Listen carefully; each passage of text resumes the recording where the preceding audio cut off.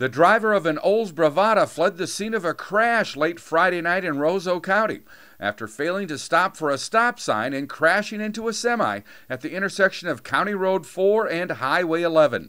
No word yet on whether the driver has been caught. A passenger in the car, 31 year old Gustav Stoppelman of Grafton, was taken to Life Care Medical Center in Roseau with non life threatening injuries. The patrol says alcohol was a factor.